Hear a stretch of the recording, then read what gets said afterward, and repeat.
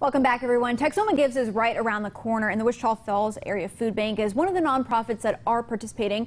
I'm here with Simon to kind of give us a rundown of what you guys are doing for Texoma Gives. Thank you for coming on the show today. Absolutely. Thanks for having me.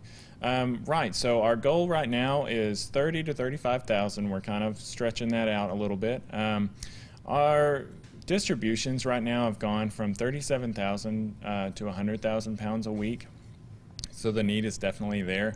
So all the money that we can pull in from Texoma's give, uh, Texoma Gives and merchandising sale, as you can see here, uh, will help us, you know, make sure that there's no interruption in services and, and keep uh, these distributions going for the pantries. Absolutely. And you guys have done an amazing job by helping our local community.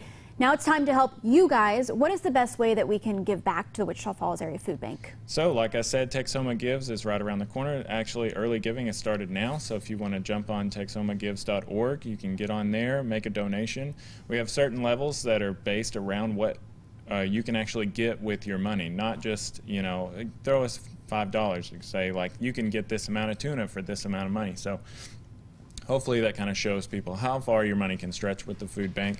Like I said, we also are selling T-shirts and caps. Uh, you can go on our website, wfafb.org uh, slash merchandise, and you can go there. We'll ship it right to you. Uh, they're super soft and comfortable and kind of show your pride of the area food bank. So. Absolutely. And like you already said, you guys are accepting donations right now up until September 10th when the actual Texoma Gives is.